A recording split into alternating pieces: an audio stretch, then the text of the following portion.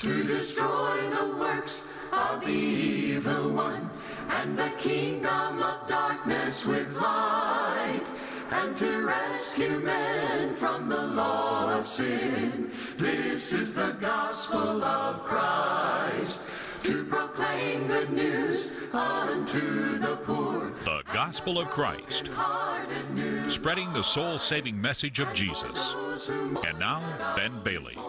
This is the gospel of Christ. The Apostle Peter said, Baptism does now also save us. And while we emphasize and have tried in these lessons to emphasize the importance of baptism, today we want to present something maybe a little different. There are some things baptism will not do in the Bible, and we want to talk to you about those today to help us understand its place and its importance, but also our need to continue on in our walk with Jesus. And so we're so glad that you've joined us for our study today. We want you to know that today's lesson is being brought to you by Christians and members of the Church of Christ in your area. Those Christians would love for you to stop by and visit their assembly, visit the local Church of Christ in your area, whether it be on Sunday or Wednesday for Bible study. You will find people there who are sincere in their desire to know God, who are friendly and warm and inviting, who would love to sit down and just open up the Bible and study the Word of God. And so check out the local Church of Christ in your area. You'll find wonderful people there who love others and who love God. And friend, that's exactly what we do here at the Gospel of Christ as well. We love you. God loves you. Our main emphasis is to help people know God and to go to heaven. And so we want to encourage you to check out our website, thegospelofchrist.com. Check us out on Facebook as well from our Facebook page. Great way to keep up with what we're doing. If you'd like to have a copy of this lesson series on baptism, just go to our website, thegospelofchrist.com.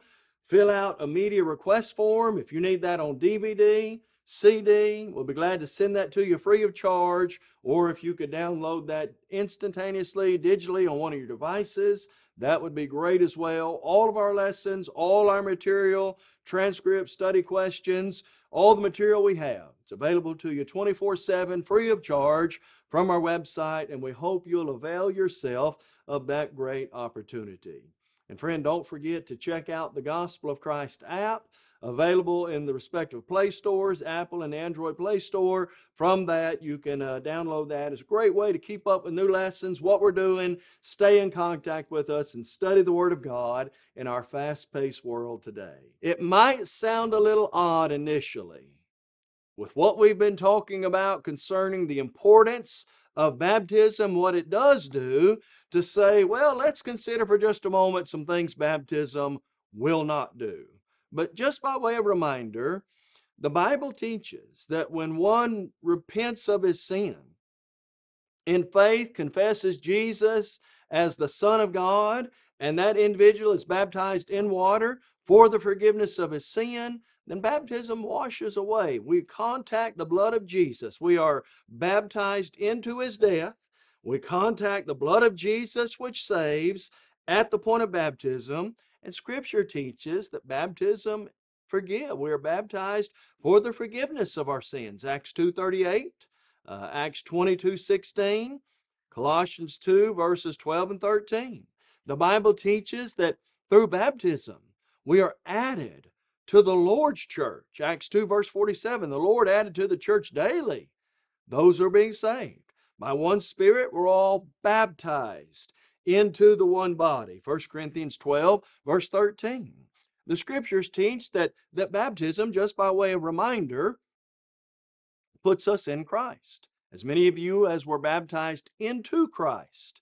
Galatians 3:27, Romans 6 verses 3 through 6. And of course, baptism is for salvation. Mark 16, 16. Jesus said, He that believes and is baptized will be saved. And so there's no doubt baptism is essential. It's something God has asked us to do. It is indeed important for salvation. But friend, I want you also to realize there are some things that baptism cannot be replaced for, and that it cannot do. L- let me illustrate. For example, baptism cannot save a person who doesn't believe and won't repent. Now, hear me well. We want to stress today that baptism is not some mystical, magical talisman, as it were, that removes sin. It's not as though all you got to do is get in the water, just get in the water and your sins are removed. Baptism will not save a person who doesn't believe and won't repent. If that were the case, if baptism were just some magical potion, as it were, and all you had to do was get in the water, my friend, wouldn't it make sense as part of the Great Commission, we would go and take people by force and put them into baptistry just so they could be saved? That's not how it works because baptism cannot save somebody who won't believe and won't repent. John 8, verse 24, Jesus said, Unless you believe that I'm He, you will surely die of your sins. A person must believe Jesus is the Son of God before he can be baptized. Uh, the, the scripture, Jesus said, He that believes and is baptized will be saved. Mark 16, 16. Baptism cannot save someone who believes, is willing to be baptized, but won't repent. Luke 13, 3, Jesus said, Unless you repent, you'll all likewise perish. Luke 13, 3. Uh, Peter preached, Repent first and be baptized for the remission of your sins. Acts chapter 2, verse 38. A chapter later, he said, Repent that see, and turn again that seasons of refreshing may come from the presence of the Lord. And so, if a person won't believe and repent, well, getting that person wet in water is not going to do anything to help that person be saved. Well, what else will baptism not do? Friend, baptism will not remove the physical consequences one may face due to sin. Let me illustrate. Let, me use an example of how physical consequences may still be there after one is forgiven from an Old Testament figure. As you recall, David committed a great sin with Bathsheba in 1 Samuel 11 and 12. And yet, David realized he was in sin. He repented of that sin. And according to Psalm 32, verse 5, 2 Samuel 12, verses 9 through 14, God forgave David of that sin. But just because he had been forgiven didn't mean there weren't some physical consequences to that sin. You see, David still faced the death of his son Absalom. There was the problem that happened between Amnon and Tamar. Uh, Absalom murders Amnon and flees. Uh, Absalom creates this great treason. He ultimately faces defeat and death, Absalom does, but there were still physical consequences that God told David were going to happen because of that sin. Think about the Apostle Paul. Acts chapter 9, verse 16, Saul obeys, he obeys God. Acts 22, 16, he's forgiven of his sins. And yet Paul still had physical, he still felt that guilt. Paul still realized what he'd done. And, and, and as a result, Paul was even persecuted by some because of his changing and obeying the gospel. When a person obeys the gospel, they're forgiven of past sin, but that doesn't mean there might not be physical consequences. Let's let's illustrate it this way. Let's say somebody has broken the law, is put in prison because they've done wrong. But in prison, they learn the gospel, they obey the gospel, they are baptized into Jesus Christ for the remission of their sins. The moment they obey the gospel in prison, their sins are forgiven, but they may still have to face physical. They don't get a, a get out of jail free card once they obey the gospel. The gate's not open to them now to walk out of the prison. There may be persecution, there may be problems, there may be family problems that come from that. And so we don't want people to get the wrong idea as though baptism is some magic talisman that all their problems are going to be eliminated. Baptism deals with the problem, the sin problem, and forgives that. But there may still be physical consequences to that. Also, let's realize another thing baptism will not do baptism will not remove one's temptation to sin. People who were baptized still faced temptation in the Bible. Uh, Jesus was baptized in Mark chapter 1, verses 9 through 11, and pretty shortly after that, Jesus was taken into the wilderness and he was tempted by the devil greatly. Just because Jesus was baptized doesn't mean all temptation was eliminated. Think about Simon the sorcerer. He is baptized. He immediately falls back into temptation and sin because he now sees, unlike his tricks, he now sees a bona fide miracle and he says, Give me money, or I'll give you money that I may buy that. And Peter says, Your heart's not right in the sight of God. You've fallen back into sin. You need to repent and pray. Just because Simon obeyed the gospel didn't mean the temptation to sin was removed. In fact, all Christians have to face the temptation of sin.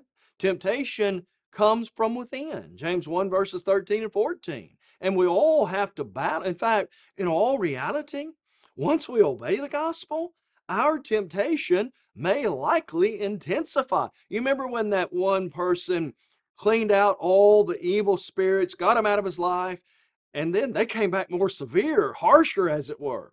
They knew he had now been separated and was right with God, and there was a sense of intensity to that. And so, friend, uh, we don't want someone to be under the guise that or the delusion that if you obey the gospel, you become a Christian, you're baptized for the remission of your sins, all temptation is now going to be removed.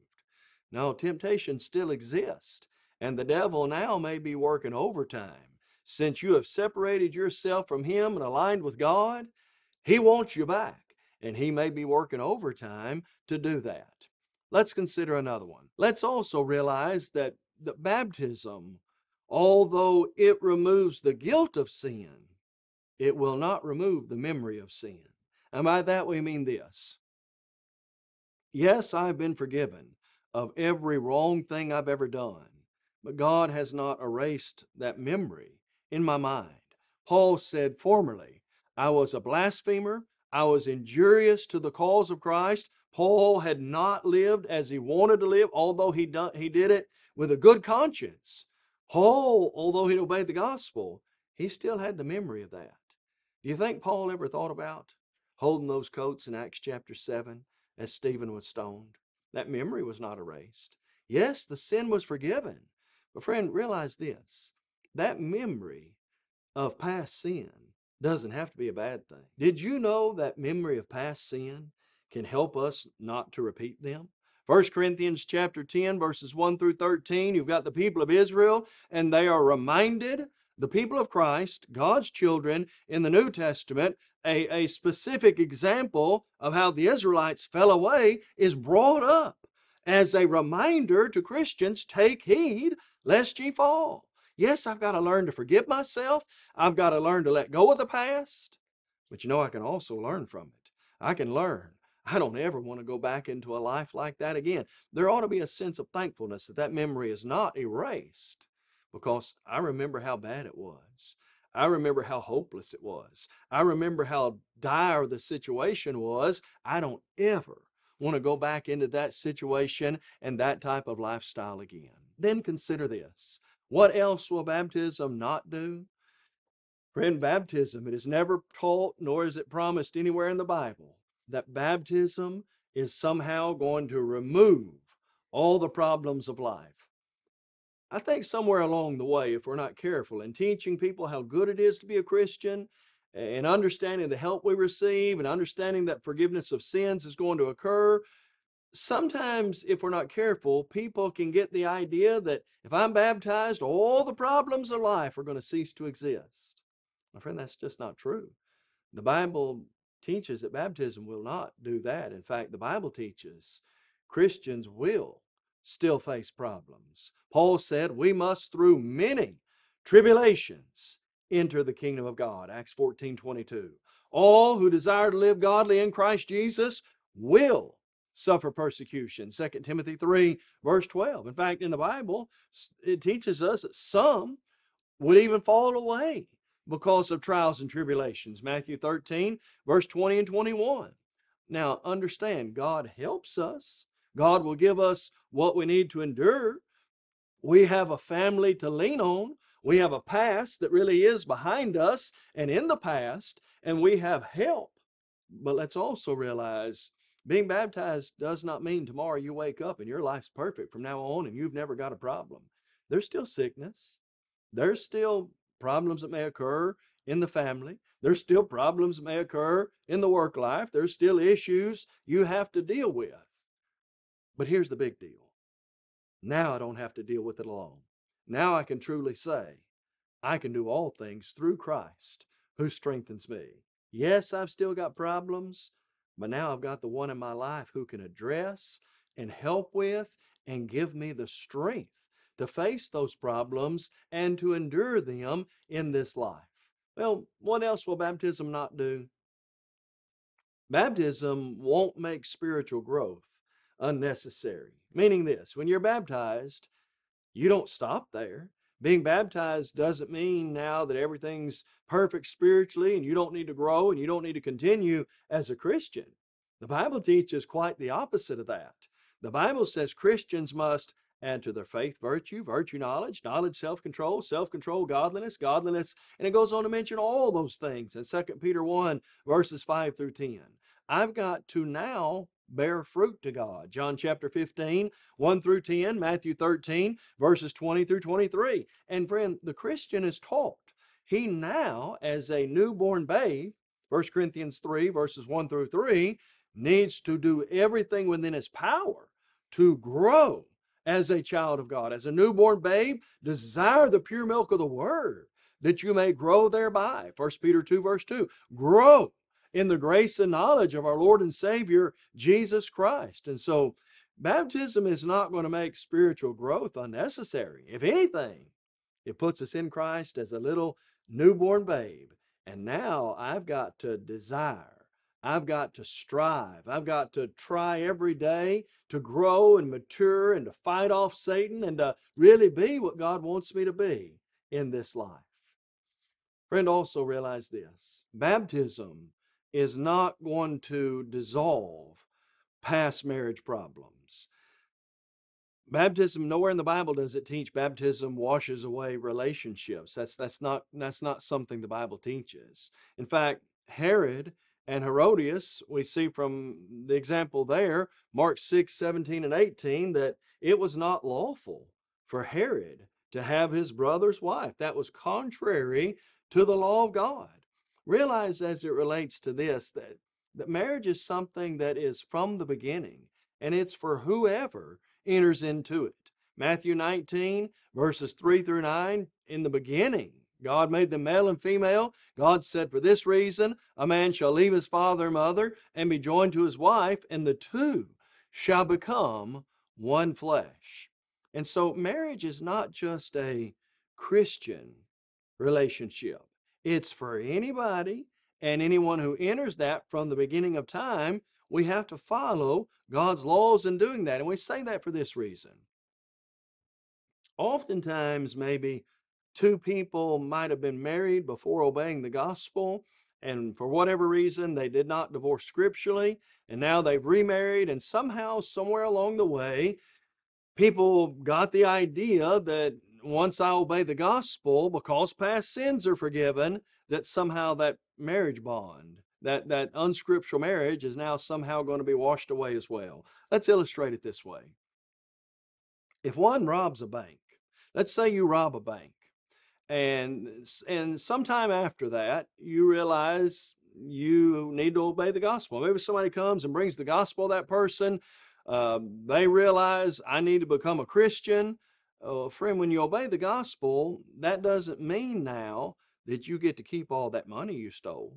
That doesn't mean you get to keep staying in that situation. Here's the idea. Repentance occurs before baptism if someone is in an unscriptural marital state, that person is not a candidate to be baptized until they repent. Repentance means I can't keep living in adultery. Adultery is something you can live in. Colossians chapter 3, verses 1 through 7. To stop doing that, I've got to repent of that, which means I can no longer continue in that sinful state. And so, nowhere in the Bible does it teach that marriage is going to, or baptism is somehow going to dissolve a marriage bond or an, make an unscriptural divorce right or give somebody another. That's, that's not taught anywhere in the Bible. Unbelievers and believers married in the Bible, and there were specific laws that God gave for that. Jesus said this unless a man divorces his wife for fornication and marries another, he commits adultery. Divorce for fornication uh, is the only scriptural reason in the Bible, and, and then and only then does the innocent party have the right to remarry in that situation. Friend, we realize then that baptism will not remove the physical consequences of sin. It's not going to take away my temptation to sin. My memory of sin is not going to be erased. It doesn't make spiritual growth unnecessary, and it's not going to make bad situations somehow right. Now, please hear me as well that baptism is not a guarantee of eternal salvation. Here's what we mean by that salvation is spoken of in two senses in the Bible. We are saved from past sin. Mark chapter 16, verse 16. There is the eternal salvation that we all have in Jesus Christ. And yet there are a host of passages that warn the Christian that you can lose that salvation. Acts chapter 8, clear example. Think about this. Acts chapter 8, verses 18 through 23. Simon is baptized for the remission of his sins. He obeys the gospel, he becomes a Christian. Almost immediately, he falls back into sin. He sees Peter or Philip work a bona fide miracle, and he offers him money to buy that gift. And he says, You've got no part or portion in this matter. Your heart's not right in the sight of God. Repent therefore and pray that the evil thought of your heart might be forgiven you. The man of God there told him he was not right. He needed to repent, that he had fallen from God's grace, and that he was in a lost state. And so just being baptized doesn't guarantee eternal salvation. Baptism won't do that. It puts me in Christ, it washes away past sins. It's something I've got to do to obey God. But, friend, it puts me in the kingdom. I've got to continue to walk in the light. 1 John 1, verse 7. I've got to continue to fight the good fight of faith. 1 Timothy 6, verse 12. I've got to strive every day to do what God wants me to do, to be right in His sight, and never ever give up in obeying Jesus Christ. And so, friend, a- along with this line, we want to emphasize again baptism, essential, something you've got to do, but it's not going to be a solvent to all your problems. Uh, you hear a lot of people say, especially a lot of religious people will say, you do these things, you send us your money, you do all this, and all your problems are going to go away. Friend, that's not what the Bible says. That's a health and wealth, lure you in and hook, line, and sinker, draw everything from you type of ideology that's not found in the Bible. It's not as though financial wealth is promised or all your problems are going to go away or, or Christians never face any struggles. None of that's true. Here's what we do have God promises me a home in heaven. Regardless of what I have or don't have in this life, I can learn to be content because I've got a home in heaven with God. God promises me that along the way, as I face struggles, I don't have to face it alone. The Lord has said, I will never leave you nor forsake you, so that you may boldly say, The Lord is my helper. I will not fear. What can man do with me? And God promised me the strength to keep living and keep doing what He wants me to do each and every day. And so, my friend, we ask you today have you obeyed the gospel of Christ? Have you submitted your life to the Almighty God in obedience to His will and done what He teach, teaches to be saved? You say, well, what exactly is that? I've heard you mention some things about baptism today, but what exactly does the Bible teach I've got to do to be saved? Here's what they did in the New Testament to be saved. People first had to believe in Jesus. Unless you believe that I'm He, Jesus said, you'll die in your sins. John 8 24, I got to believe Jesus is the way, He's the truth, He is the life. No man comes to the Father except by Him. Then I must be willing to repent or turn from a life of sin. Peter preached, repent and turn again. that your sins may be blotted out. Jesus said, Unless you repent, you'll all likewise perish. Luke 13, 3. I've got to realize sin is wrong. I've got to make up my mind to the best of my ability. I'm going to try to do that every day. And then I've got to turn away from that. That doesn't mean we're going to be perfect. We all make mistakes from time to time, but I've got to make that commitment that I'm going to turn from a life of sin. I must confess Jesus as Lord and Savior. Paul said, with the heart, with the mind, one believes unto righteousness, and with the mouth, confession is made unto salvation. Our Lord said, if you won't confess me before men, neither will I confess you before the Father who is in heaven. But if you will confess me before the Father who is in heaven, uh, before men, I'll also confess you before my Father who is in heaven. Matthew 10, verse 32 and 33. And having believed in Jesus, repented of sin, confessed him as Lord and Savior, the Bible teaches to be saved. And to have your sins washed away, you must be immersed in water. Peter said, Repent and be baptized for the remission of sins. Acts 2:38. Jesus said, "He that believes and is baptized will be saved." Mark chapter 16, verse 16. Saul of Tarsus, who later became Paul, was told by God's servant Ananias, "Get up and be baptized and wash away your sins, calling on the name of the Lord. Acts chapter 22, verse 16. And then once we've obeyed the gospel, Romans 6, verses 1 through 4 teaches we die to sin, we're buried with him in baptism, and we rise up out of that watery grave to walk in newness of life. I live new. I live different. I've got a different way about me now because I'm a child of God and I'm no longer living for the same mundane, shallow, worldly purposes I'm living to glorify and honor God every day. And so, my friend, if you haven't obeyed the gospel, we encourage you to do that. If you'd like to study more, contact us. We'd be happy to discuss it with you. And we hope and pray that you will join us next time as we study more from the Word of God. Today's closed captions are brought to you by Christian Family Bookstore in Chattanooga, Tennessee. We encourage you to visit thechristianfamilybookstore.com for all your Christian book needs. You may have just joined our program and are wondering, what is the Gospel of Christ? The Gospel of Christ is an evangelistic work of the churches of Christ with its whole aim to take the gospel to the whole world. We do that through TV, internet, free media, and streaming. Our motto truly is to take the whole gospel to the whole world, and we believe in having a book, chapter, and verse for everything we say and do. And unlike many religious programs today, we're concerned about lost souls, not your wallet. Visit thegospelofchrist.com for a host of Bible study materials, including audio and video of our lessons. Request your copy of today's lesson by completing a media request form online. On demand downloads are also available thegospelofchrist.com. We would love to hear from you. Email us at mail at thegospelofchrist.com or call 844 6 Gospel. You may also write us at the address on your screen. Search your App Store for The Gospel of Christ to access our mobile app on your smartphone.